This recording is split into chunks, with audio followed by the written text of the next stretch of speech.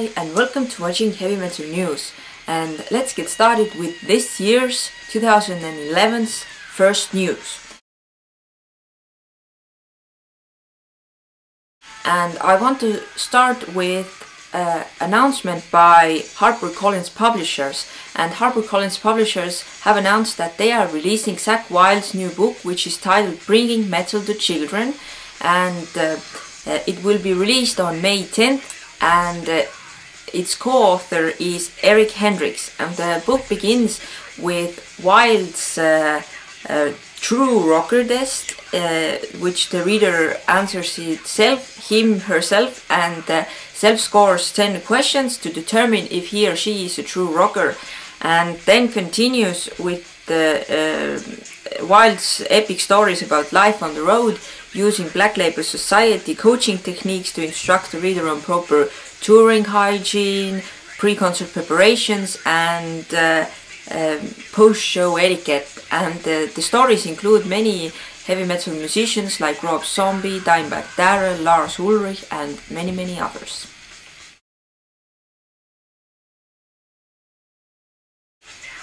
Blind Guardian, Death Angel, Deicide, uh, Mercenary, Obscura and October File have been confirmed for this year's edition of the Metal Camp Festival which will take place from July 11th to 16th in Tolmin, Slovenia.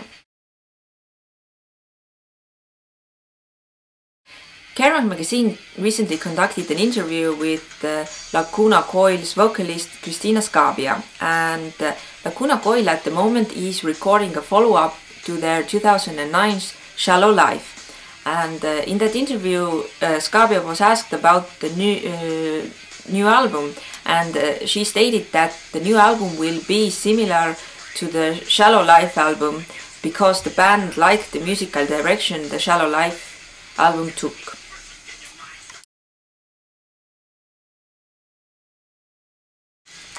According to a UK magazine, uh, Dani Filth Davey of Cradle of Filth topped the race to be named one of the ten, top 10 icons of the UK Suffolk County. And the Suffolk Icon site was launched by Choose Suffolk, a partnership uh, aimed at putting the county on the map. And Filth got about 13,000 votes, and uh, that was uh, a lot more than the other candidates in the list.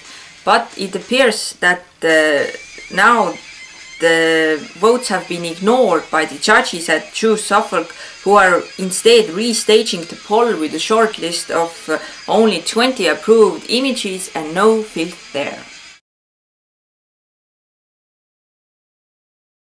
It has been 25 years since uh, Slayer released their landmark iconic album Reign in Blood and Esp, Esp Guitars finds that it is now the right time to release a special custom made Reign in Blood style guitar.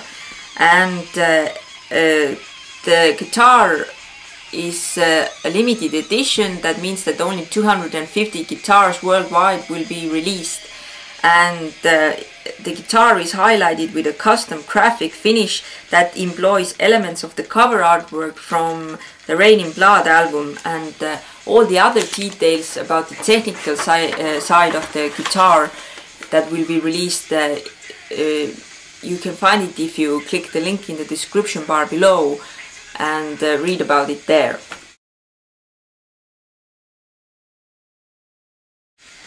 Then Cannibal Corpse are tentatively scheduled to release a new DVD titled Global Evisceration uh, and the DVD will be released on March 15th uh, via Metal Blade Records and uh, the DVD contains footage from their concerts uh, in uh, Colorado and Albuquerque and the DVD was directed by Denise Korycki of Wild Wind Productions. Tequila, the new video from Korpiklaani, uh, has been released and uh, Tequila comes off uh, Korpiklaani's new album Ukon Wacka, which will be released in Europe on February 4th via Nuclear Blast Records.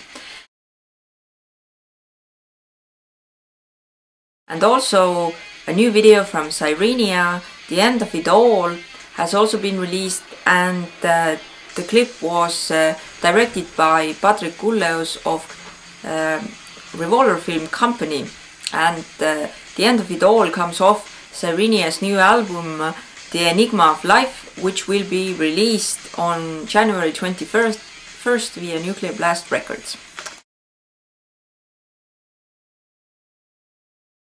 The original court of Berlin has convicted Apocalyptica for trademark infringement against Rammstein and Apocalyptica has been uh, forced to pay a fine of 45,000 euros.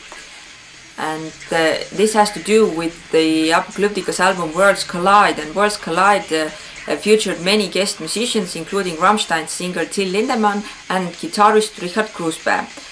But the whole album Worlds Collide was advertised in magazines, flyers, etc. in Germany as including Rammstein, not just Rammstein members, but including Rammstein.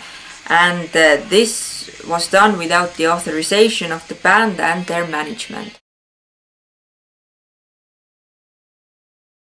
And lastly, Dimmu Borgir, the new video from Dimmu Borgir has been released and it was filmed by Catapult, it was directed by Catapult Films director Sandra Marschner and comes off uh, Dimmu Borgir's latest album Abrahadabra. So these were the news, uh, first news of 2011.